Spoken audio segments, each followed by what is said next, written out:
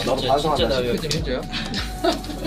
아 이게 영어면 자, 내가 내가 각자 커버- 뺨 내가- 한 대씩 때리세요. 아, 이 영어면 내가 옆에서 커버를 막 쳐주겠는데 이거 보니까 나도 Merhaba İyikilerim kanalınıza hoş geldiniz. Biraz yorumları okudum. Baktım ki herkes gerek okul, gerek iş, gerek sosyal hayatı yüzünden negatif duygularla dolu.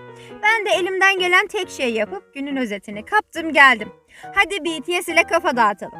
Özeti 4 ayda türlü hileler ve engellemelere rağmen Billboard Hot 100 listesine 4 şarkı ile giriş yaparak bunu en kısa sürede başaran Koreli sanatçı olan Jimmy ile açıyorum. Son şarkı Angel Part 2 ile Hot 100'e girerek adını tarihe altın harflerle yazdırdı. Ayrıca bu melek grubu BTS'i de geride bırakarak sadece 4 ay içinde Billboard Hot 100'de 4 şarkı ile listeye giren tarihteki en hızlı Koreli sanatçı oldu. Önceki rekora sahip olan BTS 11 ayda bunu başarmıştı. Next BTS'de görüldüğü üzere yine BTS üyeleri. Jimin için bu şekilde bir gündem oluştu. Çoğu kişi yeni bir albüm mü geliyor demişti ama değil. Bu bir ARMY projesi. Sanki Jimin albümünü yeni çıkarmış gibi stream yapılacak. Ama Endonezya merkezi bu hesaptan yakında diye atılan tweetin gizemi henüz çözülemedi. Jimin konser turu yapacak diye söylentiler ortaya çıktı ama dediğim gibi şu an sadece bir söylenti. Aslında olsa harika olurdu. Yeteri kadar şarkısı var değil mi? Neyse resmi bir haber gelmeden her şey heyecan yapmayalım biz. Kalbimi yeterince çarptıran biri var zaten. Benim bebek ayım Insta'dan herkesi kendine aşık etmeye devam ediyor. Bir dans videosu bile attı. Albümde koreografi var. Onu anladık da bu şekilde kıvraksa yandık. Gerçi siz ne dersiniz bilmem ama ben ona bakınca bebek gibi pamuklara sarmam gereken birini görüyorum. Hep mutlu olsun, hep böyle resimler, videolar paylaşsın bizimle.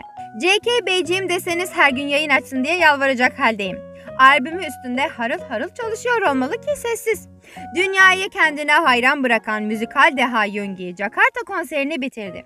Konserde devamlı öksürmesi beni dahil bütün armileri endişelendirdi. Kolay değil tek başına böyle büyük bir konser turu yapmak. Onunla gurur duyuyorum. Umarım bir an önce iyileşir. Müzik sektörünün tartışmasız en zeki, en yetenekli, en güçlü lideri Namjoon'a ise her geçen gün daha da düşüyorum. Bir insanın bir işi de mi kötü olmaz ya da ortalama olmaz. Adam baştan ayağa mükemmelliğin vücut bulmuş hali. Cold ile yaptığı işbirliğiyle bizi yine kaliteye boğdu çok şükür. Askerlik öncesi planını acaba hem öğrenmek istiyorum hem de istemiyorum. Ah şu askerlik, cin ve hobiyi çok özlüyorum. Telefonla kavuşan hobimiz kardeşlerinin paylaşımlarını beğenmeye başlamış bile. Meğersem bu görüntü ne de önemliymiş. İnsan mahrum kalınca anlıyor. Ve bugün çok şaşırdığım ve mutlu olduğum o haber geldi. BTS'in doğum günü festivali geldi çattı. Bu yıl fest erken başladı ve daha uzun sürecek.